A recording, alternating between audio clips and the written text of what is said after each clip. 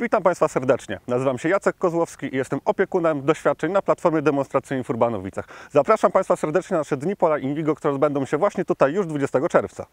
A ja zapraszam do mojego królestwa, czyli na platformę doświadczalną rzepaku ozimego. Testowaliśmy w tym roku dla Państwa rozwiązania herbicydowe i fungicydowe, ale uprawa rzepaku to nie jest jedyna uprawa, którą testujemy w Urbanowicach. Oczywiście testujemy pszenicę ozimą. W tej chwili jesteśmy na bloku herbicydowym. Jak widzimy, piękne kontrole, cudownie zachwaszczone i widzimy, że herbicydy zadziałały fantastycznie. To jesienią mamy również blok z doświadczeniami wiosennymi.